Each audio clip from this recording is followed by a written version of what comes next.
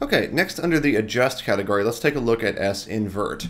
Um, S invert inverts your inverts the color and luma values in your image. This is very similar to the color effect um, in your effect palette here under the image category, color effect. You can um, invert your image with that as well. But the reason why I want to point this out is that if you've got Sapphire installed in your system, you're probably going to want to start using S invert because you've got a lot more control over the way it inverts your image. So let's just take a look at what's happening here.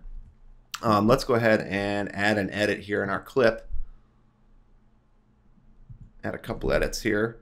And I'm just going to alt drag this S invert on top, or if you're using a Mac, option drag. Now you can see it's inverted the colors in the image. Go into my effect mode. And you can see now you've got a lot more control. Not only can you invert the luma and chroma values, which you can do with the Avid color effect. But I have the added option of being able to invert the red values, the green values, the blue values, or even the alpha. So you can create different kinds of looks um, with this S invert using the Sapphire invert one. So I'm going to just, for demonstration's sake, just invert uh, the luma values in the red. And um, we can also play with scale lights and darks here as well, just like you can with the color effect. Okay, I like the way that looks. Change our satua saturation. Okay, awesome. And let's go ahead and do the same thing that we were doing before. We'll just add a couple edits in here, stylize this a bit. Okay,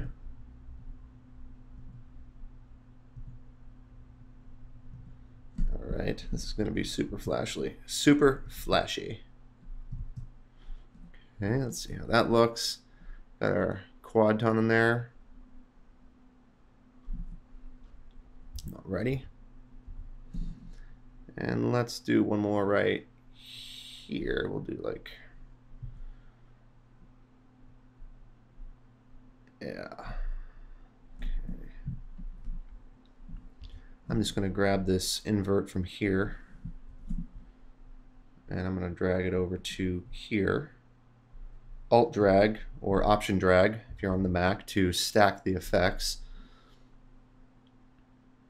All right, and let's just do a let's do a single frame invert. Good flash effect. Okay, and I'll just delete it from here and delete it from here. And on this last one, let's change the way this one looks. Let's invert chroma as well and get more of the traditional looking invert. And let's really bump up our lights, make it really flash. You create a really cool effect doing that. Let's scale our lights here. And maybe we'll invert the blue and the green. It's kind of a cool look. All right. Let's see how that looks now. Let's play it back. Playing back in real time, none of this has been rendered. And that looked really great. I just trim the last bit of this clip off of here. So it's sort of like a transition. There we go. Let's see how that looks.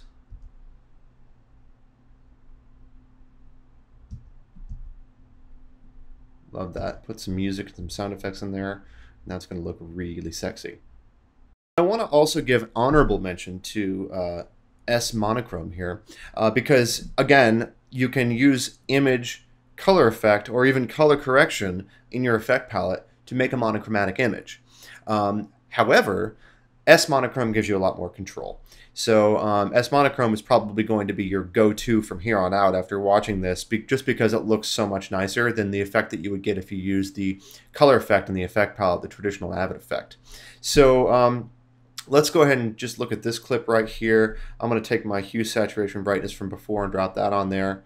Um, that looks very nice. And now let's go to S monochrome. I'm going to alt drag or option drag that on top to stack the effect, and now I've got a monochromatic image. Um, going into the effect palette now, you can see why this is different and why this is better. Because not only are we getting a monochromatic image, but we can also change the values given to the, the way the, um, the image is made monochromatic based on the color values the red, green, and blue values in the source footage. So I can create a different look by changing the weight for the blue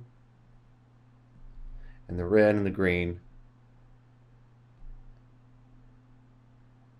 And let's just compare how this looks to the color effect in the Avid Effect palette.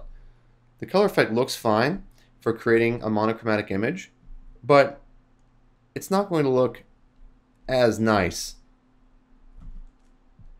Take the saturation all the way down. It's not going to be as nice as it would be with the S monochrome because you can change the kind of monochromatic image that you have. You see how the, the values are changing. You can create different kinds of looks. So I'm going to go into this one. You know, maybe I don't like this. I'll just bump up the red. And I'll take the green way down. And take the blue way down. And now you can see I've created a completely different kind of monochrome image that highlights more of the clouds. Just got a lot more flexibility.